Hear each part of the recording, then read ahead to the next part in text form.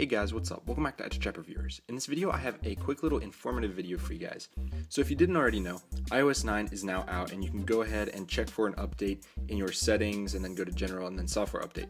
And after you get that, uh, there's a really cool new feature in uh, iOS 9 that allows you to block ads and stuff like that on your Safari. So uh, in the App Store, uh, if you go to the top charts, you will see, oh, here's Crystal. This is what this video is about.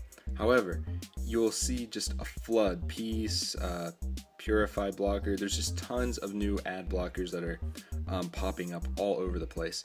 Uh, but the best one, well, the first one that I've used, Crystal, is free. That's why I'm saying it's the best. Um, because it's currently free for early adopters and I've heard a ton about it and I've heard that it works really well and I've been using it and it does work really well. Uh, so it's called Crystal, and here it is. This is all it is. It just says open settings app, tap Safari, content blockers, enable Crystal. Simple as that. So all you have to do is go into settings, find Safari, scroll down, click content blockers, and enable Crystal. Now I'm not going to enable it right now. What I'm going to do is first I'm going to go into Safari and I'm going to load up macrumors.com. So here we are macrumors.com. Let's reload it.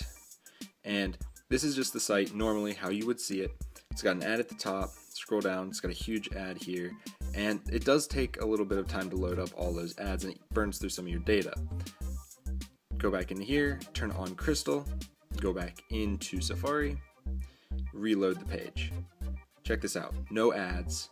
It loaded, I don't know if you noticed that, but it loaded so much quicker. I've already done this test um, it's so much faster without ads loading, and it will save you data on your plan. So, uh, if I were you, I would go check out Crystal. It did say in here in the settings, content blockers affect what content is loaded while using Safari. They cannot send any information about what was blocked back to the app, so that is good. I was worried about tracking stuff, but that seems to clear that up and make it sound like they don't send any of this back to the app.